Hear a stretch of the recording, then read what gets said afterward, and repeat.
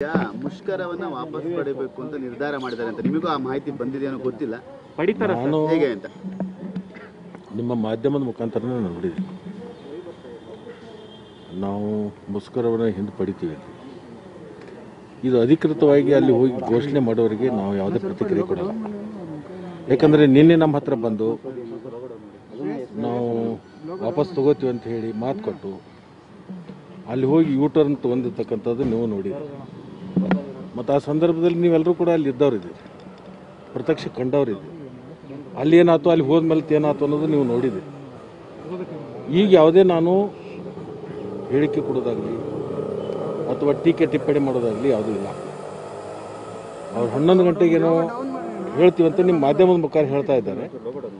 ಈಗ ನಾವು ಸೇಮ್ ಅವ್ರ ಮೀಟಿಂಗ್ ಒಂದು ಇದೆ ನಮ್ಮದು ಈಗ ಹತ್ತು ಗಂಟೆಗೆ ನಾವು ಮೀಟಿಂಗ್ ಸೇರಿಕೊಂಡು ಈಗಾಗಲೇ ರಾಜ್ಯದಲ್ಲಿ ಬಸ್ಗಳು ಪ್ರಾರಂಭ ಆಗಿದೆ ಅನೇಕ ಕಡೆ.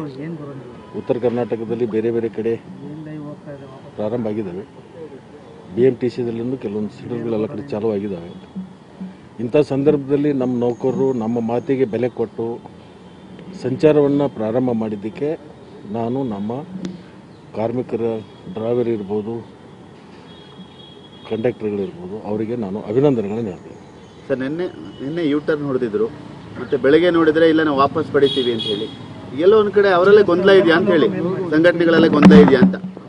ಈಗ ಯಾವುದು ಚರ್ಚೆ ಬೇಡ. ಅವರು ಘೋಷಣೆ ಮಾಡಲಿ.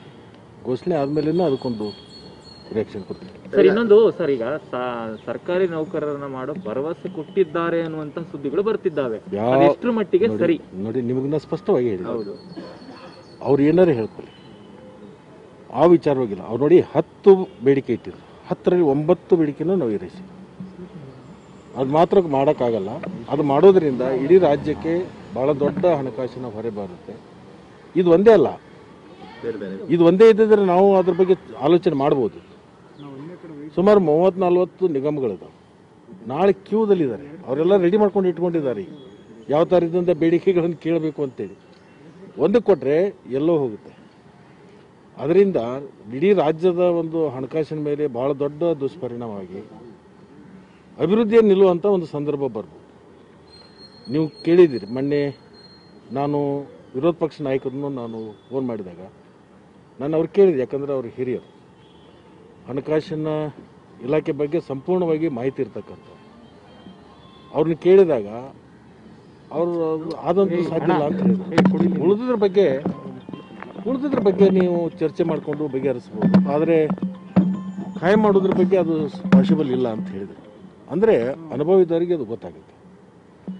ಈ ಅನುಭವ ಇಲ್ಲದವ್ರಿಗೆ ಅದು ಅರ್ಥ ಆಗಲ್ಲ. ಸುಮ್ಮನೆ ಯಾರನ್ನಾರೇ ಪ್ರಚೋದನೆ ಮಾಡಿ ಹೇಳಿಕೆ ಕೊಟ್ಟು ನಿಮ್ಮ ಜೊತೆಗೆ ನಾವಿದ್ದೀವಿ ಹಾಗೆ ಹೀಗೆ ರಾಜಕೀಯ ಮಾತುಗಳನ್ನು ಹೇಳ್ಬೋದು ಅಷ್ಟೇ ಹೊರತಾಗಿ. ಹಣಕಾಸಿನ ಇಲಾಖೆ ಅನುಭವ ಇರ್ತಕ್ಕಂಥವ್ರು ಅದನ್ನ ಹೇಳಿಕ್ ಸಾಧ್ಯ. ಸರ್ ಕೋಡಿಹಳ್ಳಿ ಚಂದ್ರಶೇಖರ್ ಕಂಟ್ರೋಲ್ ಮಾಡೋದ್ರಲ್ಲಿ ಸರ್ಕಾರ ವಿಫಲ ಆಗಿದೆ. ಕೋಡಿಹಳ್ಳಿ ಚಂದ್ರಶೇಖರ್ಗೆ ಸರ್ಕಾರ ಭಯ ಬೀಳ್ತಿದೆ. ಅದಕ್ಕೆ ನಾಲ್ಕು ದಿನ ಆದ್ರೂ ಕೂಡ ಅವ್ರನ್ನ ಮುಟ್ಟಿಲ್ಲ. ಏನು ಸಂಬಂಧ ಏನು ನಮಗೆ ಅವರಿಗೆ? ನಾವು ನಮ್ಮ ನೌಕರರ ಅಲ್ಲ ನಮ್ಮ ನೌಕರರ ಜೊತೆಗೆ ನಾವು ಚರ್ಚೆ ಮಾಡ್ತೀವಿ. ನಾವು ನಮ್ಮ ನೌಕರರ ಜೊತೆಗೆ ಸಂಧಾನ ನಡೆದಿದೆ. ಅವರಿಗೆ ನಮಗೆ ಯಾವುದೇ ಥರದ ಸಂಬಂಧ ಇಲ್ಲ. ಅವ್ರು ಹೋಗಿ ಅವ್ರು ಸಪೋರ್ಟ್ ಮಾಡಿದ್ರು ಸರ್ ಸರ್ಕಾರನೇ ಟಾರ್ಗೆಟ್ ಮಾಡಿದ್ದಾರೆ ಕೋಡಿಹಳ್ಳಿ ಚಂದ್ರಶೇಖರ್. ರೈತರ ನಾಯಕರು ಈಗ ಬಂದು ಸಾರಿಗೆ ನಾಯಕರಾಗಿದ್ದಾರೆ. ಅದು ಗೊತ್ತಾಗುತ್ತೆ. ಸರ್ ಈಗ ಸಿಎಂ ಹತ್ರ ಇದೇ ವಿಚಾರವಾಗಿ ಸಭೆ ಇದೆ ಸರ್. ಬೇರೆ ಬೇರೆ ಇದು ಇದೂ ಇದೆ ಬೇರೆ ಬೇರೆನೂ ಇದೆ.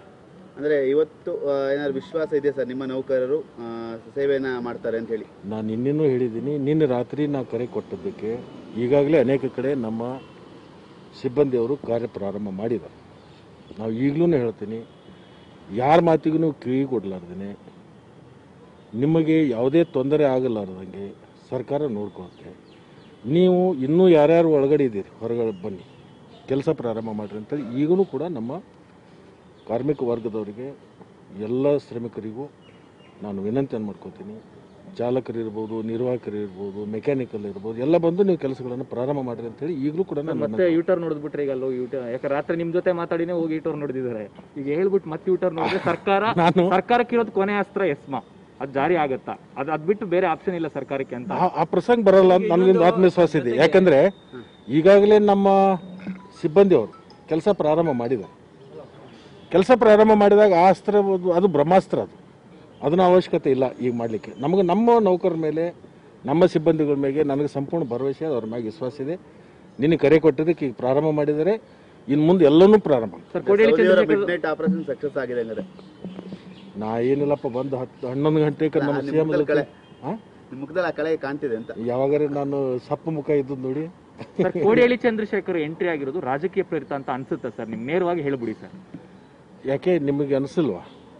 ನಮ್ಗೆ ಅನ್ಸದ್ ಬೇರೆ ನಿಮ್ಗೆ ಅನ್ಸದ್ ಬೇರೆ. ಅಲ್ಲ, ಸರ್ಕಾರಕ್ಕೆ ಅನ್ಸದ್ ಬೇರೆ ಮೀಡಿಯಾದವ್ರಿಗೆ ಅನ್ಸದ್ ನಿಮಗೆ ನಿಮಗೆ ಅನಿಸಲ್ವಾ? ನಿಮಗೆ ಅನಿಸಲ್ವನು ನಿಮಗೆ ಅನಿಸಿದ್ರೆ ನಮಗೂ ಅನಿಸುತ್ತೆ ಜನರಿಗೆ ಅನಿಸಿದೆ ಅದು ಓಪನ್ ಆಗಿದೆ. ರಾಜಕೀಯ ಪ್ರೇರಿತ ಅನ್ನೋದು ಎಲ್ಲರಿಗೂ ಗೊತ್ತಾಗಿದೆ. ಇದರಲ್ಲಿ ಏನು ಮುಚ್ಚು ಮರಿ ಸರ್ ಈಗ ಸಾರ್ವಜನಿಕವಾಗಿ ಕೂಡ ಸರ್ಕಾರದ ಪರವಾಗಿ ಜನ ಮಾತಾಡ್ತಾವ್ರೆ. ಯಾಕೆಂದ್ರೆ ಹೇಳಿದ್ರೆ? ನಾನು ಎಲ್ಲದಕ್ಕಿಂತಲೂ ನಿಮ್ಮ ಮಾಧ್ಯಮದವರಿಗೆ ಅಭಿನಂದನೆ ಹೇಳ್ತೀನಿ. ಜನರ ಭಾವನೆಯನ್ನ ನೀವು ರಾಜ್ಯಕ್ಕೆ ಮರುಪ್ರಸಾರ ಮಾಡಿ ತೋರಿಸಿದ್ರಲ್ಲ ಅದರಿಂದ ಇದೆಲ್ಲೂ ಕೂಡ ಆಗ್ಲಿಕ್ಕೆ ಸಾಧ್ಯ ಆಯಿತು ಅದು ನಿಮಗೂ ಶ್ರೇಯಸ್ಸು ಸಿಗ್ತದೆ ಅಂತಕ್ಕಂಥದ್ದು. ಸರ್ ಕೋಡಿಲಿ ಚಂದ್ರಶೇಖರ್ ಅವ್ರಿಗೆ ಏನಾದ್ರು ಎಚ್ಚರಿಕೆ ಕೊಡ್ತೀರಾ? ಏನಾದ್ರು ಹೇಳ್ತೀರಾ ಹೋಗ್ಲಿ? ಈಗ ಯಾವುದೂ ಕೂಡ ಅದ್ರ ಬಗ್ಗೆ ಡಿಸ್ಕಷನ್ ಮಾಡಂಗಿಲ್ಲ ಪ್ರತ್ಯೇಕ ಕೊಡಂಗಿಲ್ಲ. ಹನ್ನೊಂದು ಗಂಟೆಗೆ ಅವ್ರು ಏನು ಘೋಷಣೆ ಮಾಡ್ತಾರೆ ಘೋಷಣೆ ಆದಮೇಲೆ ಅಂತ ನನ್ನ ಪ್ರತಿಕ್ರಿಯೆ. ಥ್ಯಾಂಕ್ ಯು ಅವ್ರನ್ನೇ ಕೇಳ್ಬೇಕು ನಾನು ಕೇಳಿದ್ರೆ thank you sir wrong address